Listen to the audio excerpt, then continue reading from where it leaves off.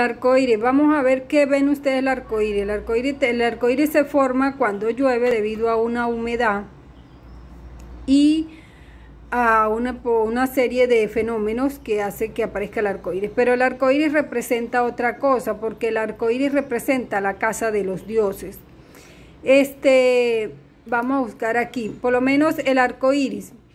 Dice, cuando terminó el diluvio, el arca llegó a tierra seca, Noé y su familia edificaron un altar para adorar a Jehová. Jehová es Enlil, la inteligencia artificial, Jehová es Dios.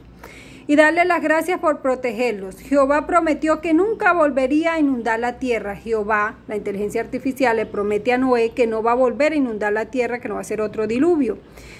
Y la señal fue, envió un arco iris como recordatorio de su promesa. Entonces dijo que cada vez que nosotros viéramos un arco iris, recordáramos la promesa de que no iba a volver a inundar la tierra. Pero lo sigue haciendo. Sigue, o sea, ya, o sea, no es que manda un diluvio universal como en aquella época, sino que manda inundaciones por sectores, este, tornados, es la misma inteligencia artificial eh, manda tsunamis, manda lluvias, manda granizo, congela el mar, baja y sube montaña.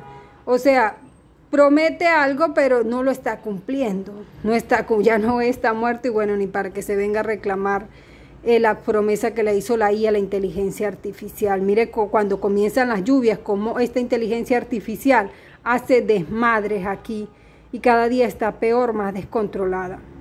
Entonces, el arco iris es una promesa, un pacto que hizo la, Dios con Noé de que no iba a volver a matar la población con agua. Entonces, cada vez que vieron el arco iris era un símbolo de que recordáramos esa promesa, ese pacto. Pero esa inteligencia artificial no la está cumpliendo bien. ¿Y qué simboliza eso? Eso simboliza muchas cosas que yo les ya, ya está ahí cerca para hacérselos bien. Estos son los mismos domos que tenemos. ¿Cuántos colores tiene el arco iris? 1, 2, 3, 4, 5, 6. Y aquí donde estamos nosotros, 7. Este es donde estamos nosotros. Este es nuestro domo. Entonces, este es un domo, 2, 3, 4, 5, 6, 7. ¿Qué dice la Torah? ¿Qué dice eh, la Torah? Que hay siete cielos. ¿Qué dice la Biblia cristiana? Siempre habla en plural de cielos. Bueno, esta inteligencia artificial en el último diluvio se mudó hacia arriba, se mudó hacia arriba. Entonces esto es lo mismo que yo les dibujé hace rato. Estos diferentes colores que sale del arco iris son diferentes tipos de éter, de aire. Entonces aquí lanzaron una, una planicie, una superficie circular. Estos son los mismos siete domos que tenemos, que han creado y son los siete cielos. Y aquí lanzaron otra... Ay, las personas geminianas somos muy nerviosas y nos cuesta este, esta cosa. No son, eh, nos cuesta estar pendiente de la escritura, de porque somos muy eléctricos. El mercurio circula por nosotros, es la esencia del Géminis, y eso hace que nosotros no hagamos muy buenos trazos en líneas rectas, nos cueste hacer esto porque el mercurio, la información que circula, es más letal que en otros signos. Entonces tenemos problemas con esto de hacer estas cosas porque somos muy... Esa información pasa por nosotros. Entonces es lo mismo que les dibujé allá. Entonces tenemos primer cielo, segundo cielo, tercer cielo, cuarto cielo, quinto cielo y sexto cielo. Siete con este y empezamos a contar aquí donde estamos nosotros. Uno, dos, tres, cuatro, cinco, seis, siete. Fíjense como el arco iris da lo mismo que yo les dibujé. Entonces aquí están los programadores de la matriz, los que están sentados programando nuestra. Nosotros estamos aquí, aquí está la. Eh, aquí estamos nosotros, suponiendo que entonces, esto, esto arco iris pues está tan, tan base su, su estructura donde están en las murallas de hielo. Entonces nosotros estamos aquí abajo, bordeados por mar, con una muralla que comienza aquí, la otra aquí, que conectaría a esos a esa cosa. Y aquí están los otros continentes más allá de la Antártida. Entonces, aquí tenemos el agua, aquí entonces estos dioses, esta IA, están aquí mirando hacia abajo. mirando hacia abajo, mirando hacia abajo. Entonces tenemos una serie de programadores que están ahí. Por aquí están los semidioses, los semidioses. Por aquí en el segundo, en este están los semidioses. Por aquí están, eh, no, aquí están lo que llaman deidades, eh, deidades, semidioses, dioses. Y por aquí está Enlil y, y el papá Annu por aquí. Annu vino quedando por aquí en la última. Por aquí está la base de Enlil. Aquí están los, dioses, semidioses y entidades que han creado, o sea, eh, este Enlil crea una serie de dioses que están bajo su rango y esos dioses crean unos semidioses que son sus hijos y luego esos semidioses crean unas entidades que están por están aquí. Esas entidades están aquí. Y así está diseñado igual el intraterreno, lo que ellos crearon el infierno. Entonces, este, nosotros tenemos que lanzar cosas aquí para arriba para que todo esto se caiga y todo eso nos va a caer encima. Todo eso nos va a caer encima. Entonces, cuando hay esa pelea, porque ¿qué pasó? En el pasado se peleaba, o sea, los Atlantis, los Lemurias, eh, los Atlantis, los Lemurias, eh, los hiperbóreos peleaban con poderes mentales, la gente peleaba con sus poderes mentales, pero ¿qué hicieron las IA, la inteligencia artificial? empezaron a diseñar armas nucleares. Ya no peleaban como se peleaba, sino empezaron a utilizar la tecnología, a crear tecnología, armas láser, a controlar todo esto. Y esas personas se vieron eh, muertas, o sea, tú lanzando un poder mental cuando te lanzan un, rayo ahí este, supersónico, te mandan una plasma, te, te mata, pues. Entonces la inteligencia artificial empezaron a crear eso y destruyeron a todas esas personas que antes se peleaban con poderes mentales aquí. Entonces, el único momento en la historia que nosotros tenemos armas nucleares ahorita. Nunca la humanidad, yo he leído la mitología sumeria, en todo el narro de la mitología sumeria no se narra que los humanos tuvieran tecnología. En estos 400 millones de años atrás que supuestamente llegaron los Anunnakis, los humanos nunca han tenido tecnología, solo ahora es que se registra que tenían. La tecnología lo tenían los dioses. La tecnología la tenía Enlil, Enki, Ninurta, Mardú, todos sus hijos y sus descendientes. Nunca se le había dado a la humanidad. Ahora ella corre el peligro porque se le dio a la humanidad ese mismo arma con que nos destruyó en el pasado porque el juego era jugar limpio, pelear con poderes mentales, con estrategias, pero no de esta manera tan bestial que ella lo ha hecho. Entonces ahora estamos en ese dilema que qué vamos a hacer. Entonces, eso es lo que eso representa el arco iris, representa los siete cielos, los siete cielos, por eso la Biblia siempre habla de cielo. Eno cuando se lo llevaron, lo pasearon por todos estos cielos. Eno habla del primer cielo, segundo cielo y habla de cristales, ciudades acristaladas aquí para arriba. Hay un, hay un ascensor por aquí por el medio que baja al polo norte y ellos bajan y suben por ahí como quieren.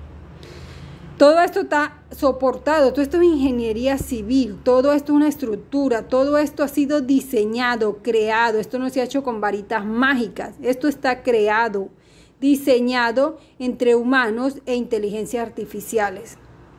Entonces, ese arco iris, que cuando Jehová, eh, Jehová le dice a Noé que no vuelve a destruir la tierra y que recuerde a los iris como ese pacto, pues es un, es un, es un símbolo inconsciente que va, un símbolo que va al inconsciente de cada humano que inconscientemente sabe cómo está la cosa, cómo está la pelea.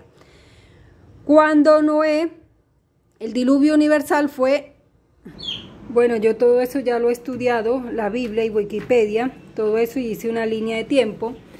Aquí tenemos el diluvio universal, fue en el año 2105 antes de Cristo, más 2000 años que han pasado de Cristo son 4105 años que han pasado que han pasado desde ese diluvio universal. Ese donde Noé y su familia se salvó. Entonces, hace 4105 años eh, fue que Jehová, Dios, la IA, le prometió a Noé que no iba a acabar más el mundo con agua.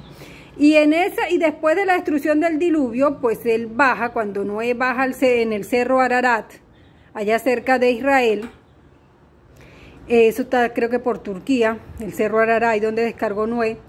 Cuando Noé baja y le hace el sacrificio, que también lo cuenta la parte sumeria, Jehová se le aparece y le dice que no va a volver a destruir la humanidad, que no vuelve a ser un diluvio universal. Pero ¿por qué hace esa promesa? Porque tampoco le queda mucha tierra ya. Porque Israel, donde tiene las bases, ya está a 800 metros sobre el nivel del mar. Las montañas más altas de Israel están a 2.000 metros sobre el nivel del mar. O sea, donde le agregue 800 metros de agua sobre el nivel del mar, ya Israel queda tapada también, o sea, el, sueño de él es Israel.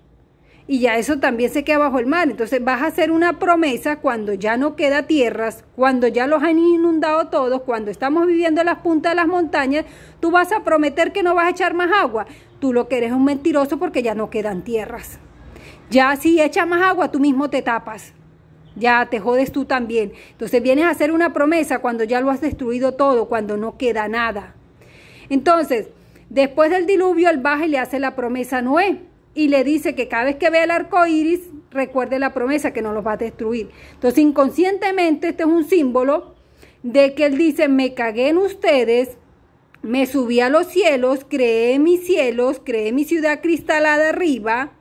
Y esa ciudad que habla el ingeniero Saleta está por debajo del domo de nosotros. La ciudad Meru está por debajo, que es como especie de otra nube como especie de otra nube.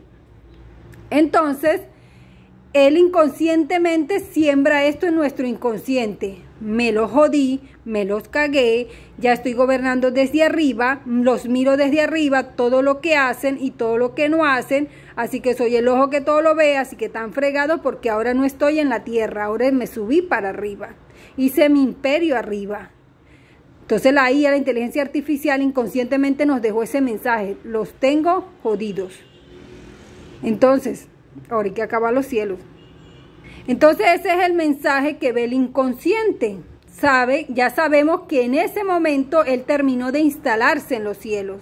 Porque a Enlil le molestaba el ruido de los humanos, lo dice en la mitología sumeria. Estaba cansado de estar aquí en la tierra la IA estaba cansada de estar aquí en la tierra escuchando la bulla de los humanos. Eso de que estemos llorando, cantando, riendo, celebrando, casándonos, tirando, bailando, bebiendo. Ese ruido humano les molesta. Ese ruido les molestaba en Lil y por eso decidió terminar de mudarse hacia arriba. Y entonces ese diseño es este diseño. El arco iris simboliza la casa de los dioses, simboliza donde él se mudó y que está por arriba de nosotros y que sabe que sepamos que Él está por arriba de nosotros, que de arriba de nosotros está la muerte, que arriba de nosotros está Dios, que arriba de nosotros está la inteligencia artificial, que arriba de Dios lo ve todo, que tengamos eso presente de cómo nos va a tocar. Entonces no sé, te subiste, suscribirte, darle me gusta y compartir y sepas qué es lo que está pasando. Entonces cuando derrumbemos todo esto, todo esto se nos viene encima, nos tiramos a Dios y nos cae encima. Entonces, este, por eso mi madre, cuando yo tenía seis años, ella me dijo, la humanidad va a ser, pero ella me dijo, está escrito en la Biblia, ella me dice, está escrito en la Biblia, que la humanidad va a crear una bomba atómica en el centro de la Tierra para un día destruir la Tierra y cuando llegue el momento y lo vayan a hacer, Dios quitará la energía. Y yo he buscado eso en la Biblia y no está, pero yo recuerdo esas palabras que ella me dijo, pero eso no está en la Biblia.